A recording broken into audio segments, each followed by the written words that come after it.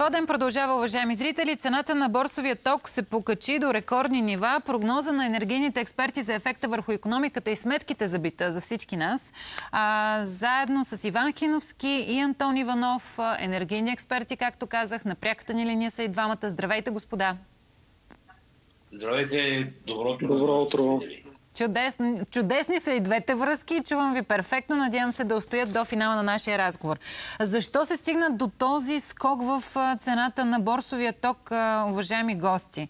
Рекордни нива. На какво се дължи това? Какви са предпоставките? И вече след това ще стигнем за ефекта и отражението тук у нас. Господин Хиновски, заповядайте. А, основната причина е ясна. Ние многократно сме я изтъквали. Нищо, кажете това е, това е, а, бих го нарекал, дефект в а, европейската енергийна политика, а, даване на изключителни преимущества и приоритет на електроенергията от ВЕИТа, специално фотоволтици, които, за голяма жалост, в вечерния връх ги няма, няма принос в производството на електроенергия, следствие на което се налага да се включват други по-скъпи генериращи мощности, които създават, ако ги няма, в случая в България, нашите въглишни централи, ако ги няма, ние трябва да внасяме тази електроенергия. Това е основната причина. Тоест, ефтина енергия през целия ден и за голяма жалост, когато ни трябва в вечерния връх, отсъствие на, на производство на електроенергия от фотоволтиците. Добре. Господин Иванов?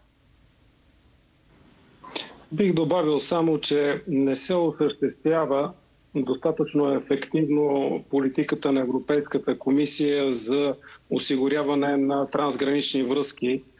И имаме едно тясно звено в връзките между Унгария, Австрия и Западна Европа, което предпоставя този голяма разлика между цените, които наблюдаваме в нашия регион и в Централна и Западна Европа. Това също е един, един недостатък на европейската политика за насърчаване и реализация на проекти за междусистемна свързаност.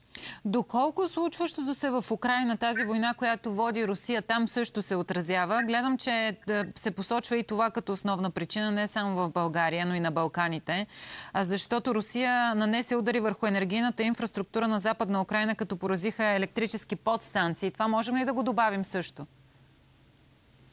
Има ефект върху, върху борсовите цени, защото Украина има огромен дефицит на електроенергия. Тя търси да, да внася и тя внася, внася, разбира се, от съседните страни, но ние сме посочили, искам да го изтъкна в една наша, наша позиция, апел, който е разпространен вече в медиите, ние а, изтъкваме, че този, а, този проблем може да, да стане преимущество за българската енергетика, тъй като ние можем да, да, да включиме а, част от нашите базови производства да работят за износ за Украина. И по този начин да дадем глътка въздух на комплекса Марица Исток, макар и в един временен период от време. Тоест, какво да направим? Призива ви е да а, активизираме други мощности в а, помощ на, на, на пазара?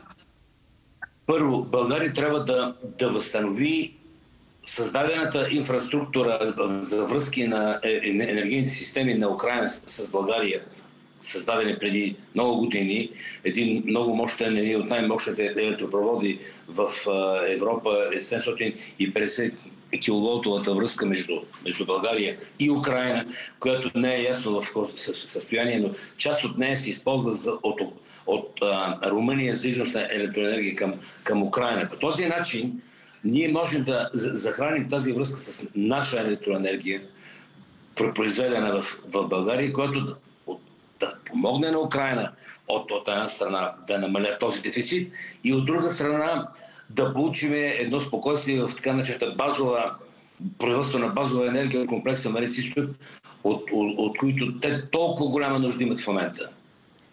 Добре, господин Иванов, има ли какво да добавите тук по отношение на влиянието бих на войната само, в Украина? Че, на, че в момента тези пикове, които се получават, те се получават, тъй като цялата енергия преминава през борсов пазар. Uh-huh. Това, което ние предлагаме фактически е да преминава през директно сключени договори, така че да не се налага да се прави една изкуствена конкуренция между различни видове енергия, които надуват цената на електрическата енергия. Тоест, състоянието сега да се предлага енергия през борсата и тя да стига в различни точки, включително до Украина, е една от причините на сегашното състояние, което ние предлагаме да се промени. Добре, имам сега цените тук при мен за 3 септември. Цената на борсовия ток в България се е покачила до рекордни нива, достигайки 1858 лева на мегаватт час за 20 часа на 3 септември в сегмента Ден напред, показват данни на Българската енергийна борса. Хайде да стигнем до ключовия въпрос, който със силно вълнува нашите зрители основно. И то е, ще се повишат ли цените на тока за бита?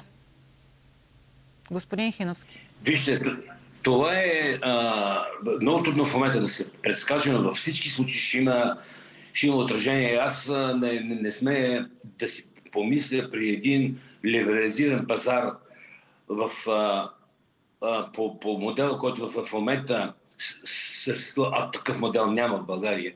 Тези цени безспорно ще окажат влияние върху, нашия, върху нашите цени. Не разбира се в пълният, в пълният мащаб, както на борсата, защото ще има един сериозен филтър от регулирана цена за, за, за бита, която се, се готви. На една базова цена, която ще, ще се определя от, от правителството и, и е допълнително филтриране през фонда за сигурност, т.е.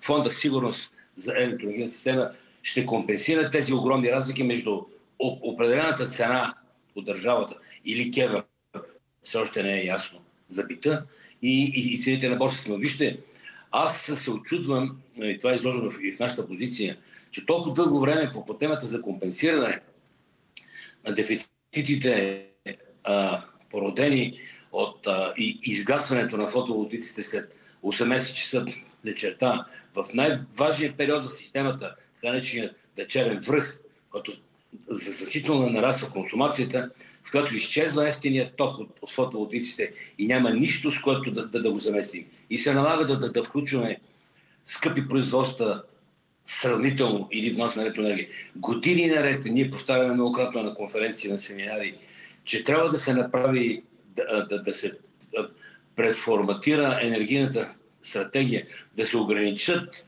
огромните стимули за изграждането на, на огромни фотоволтици. България е шампион по единични мощности в Европа на фотоволтици, които и, и, и смукват економическият потенциал на други производството, например. Това са вашите призиви за реформиране на енергийния сектор и спешни мерки. Обаче, връщам ви на, на, моя, на моя въпрос и моля ви в конкретика, защото виждам и знам, че през последните дни сте правили прогнози с колко ще се повиши електроенергията. И то сте правили прогнози, че до седмици това е възможно да се случи. Като, като, като число някакво процентно съотношение да дадем. Вие медиите винаги искате проценти и цифри. Да. Аз, аз, би казал, аз, аз, аз би казал нещо друго, че а, на фона на, на днешния раз, на, на днешните високи цени, не, не, не сме да си представя какво ще стане след спирането на, на блока в Айско Злой, който предстои да, да, да бъде презареден. Тогава ще имаме със сигурност един ръст на цената с 15-20% спрямо от днешните нива, със сигурност ръст с 15-20% при спирането на, на реактора на АЕЦ Козлодой.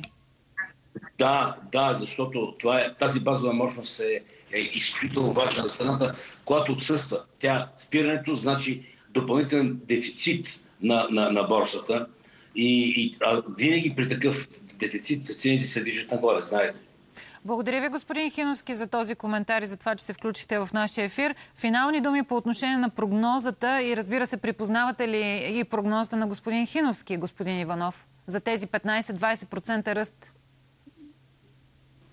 Очевидно ще има влияние спирането на шести блок за презареждане, но първо то ще бъде малко по-късно тази година, тъй като блока не работи известно време през лятото. И второ, вече към края на септември ние няма да имаме този натиск от туристическата индустрия и тази необходимост от електрическа енергия обикновено се забелязва спад на потреблението към края на септември. Тоест ще имаме два фактора с противоположно влияние и аз очаквам да имаме такава динамика в цените в посока повишение.